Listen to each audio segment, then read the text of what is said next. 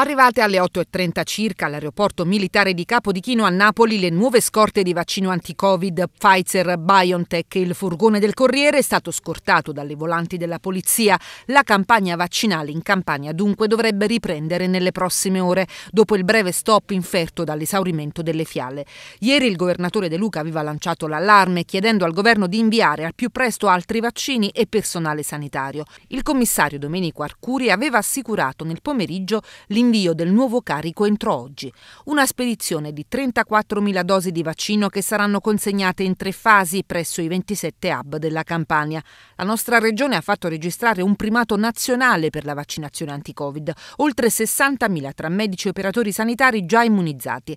Si riprende anche alla mostra d'oltremare. Dopo le code e le polemiche dei giorni scorsi, l'ASL ha creato un sistema di prenotazione che consentirà di impedire gli assembramenti. Da segnalare anche 41 allontanamenti di intrusi che non rientravano nelle categorie previste in questa fase, tra loro anche un noto avvocato amministrativista di Napoli cacciato direttamente dal manager Verdoliva.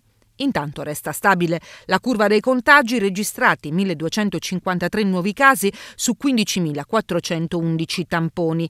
Resta chiuso il Covid Center di Ponticelli dopo il crollo nel parcheggio. La procura accelera. Dopo aver sentito i dirigenti delle ASL cominciano gli approfondimenti sulle ditte intervenute per i lavori. Due le ipotesi più accreditate, le piogge copiose o un'esplosione della rete idrica nel sottosuolo.